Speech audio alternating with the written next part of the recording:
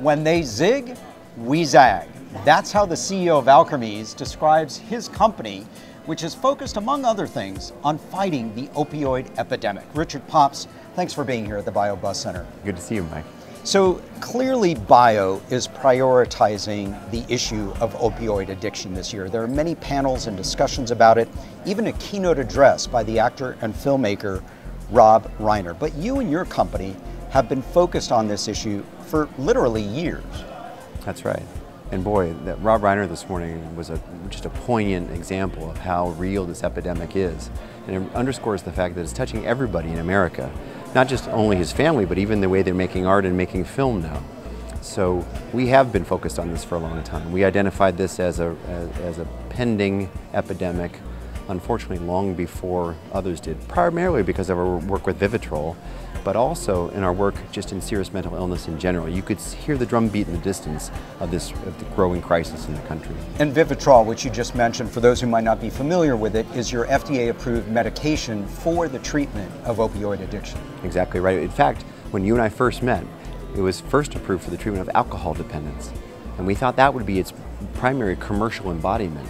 But as the drug came to market, we began to see more and more the rising scourge of prescription opioid epidemic and then heroin, fentanyl, and the others. And so we subsequently got FDA approval for Vivitrol in 2010 for the opioid crisis, and that's where most of the growth is happening now. Richard, as you well know, there are a lot of people out there offering a lot of different solutions to this big and growing, sadly, problem.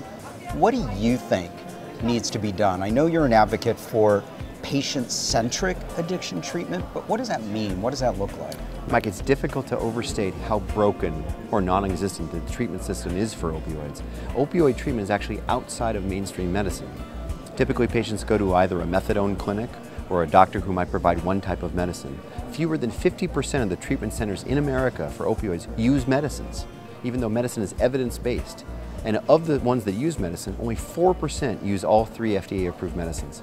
So the, what we need to do is we actually need to medicalize this and treat it based on evidence-based practices that lead to better outcomes for patients. It's that hard and that easy, actually. Change thinking. Change thinking and change the actual implementation of treatment and care providing in the communities. But Richard, is it really possible, given the enormity of the problem, of course. how many people are dying, to begin to make inroads and let's start to reverse this horrible trend?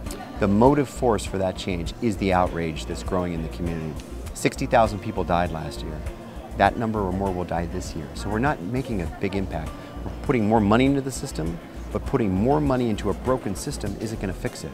But as people get outraged, as the status quo doesn't change, we can see beautiful indications in communities of, of impetus to change.